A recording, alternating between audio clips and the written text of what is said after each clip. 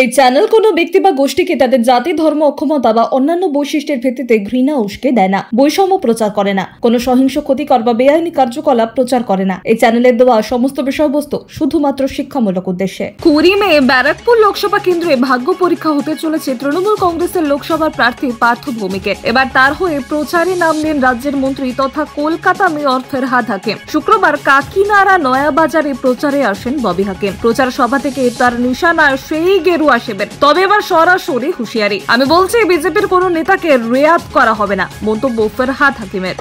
বারো লক্ষ কোটি টাকার দুর্নীতি ওরা হয়েছে। ময়ূল চস্কি নীরব মোদি, গুজরাটের যারা হীরের ব্যবসায়ী, তাদের দিয়ে এই টাকা বিদেশে পাঠিয়েছে।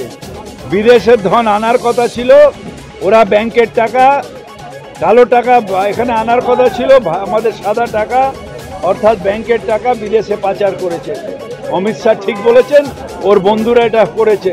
যেদিন সরকার পাল্টাবে, সেদিন এই ইডি, সিবিআই এর তদন্ত করবে।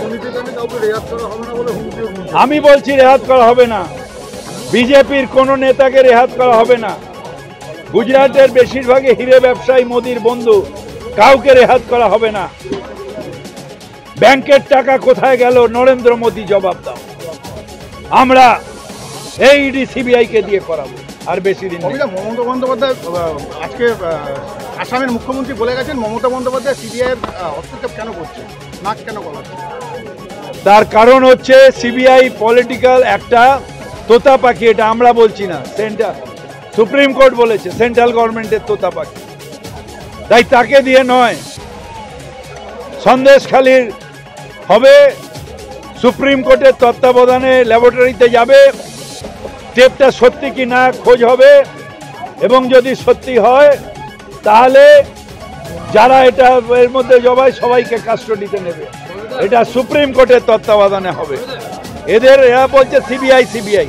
আরে তোমায় তো যে নেতারা বলে সিবিআই কালকে যাবে আমাদের বাড়িতে কালকে যাবে। সিবিআই তো এখন সেন্ট্রাল গভর্নমেন্টের তোতা পাখি হ্যাঁ ফের তো অর্গানাইজেশন এরা বিজেপির হয়ে কাজ করে। এই এই- এই সব সেন্ট্রাল এজেন্সিরা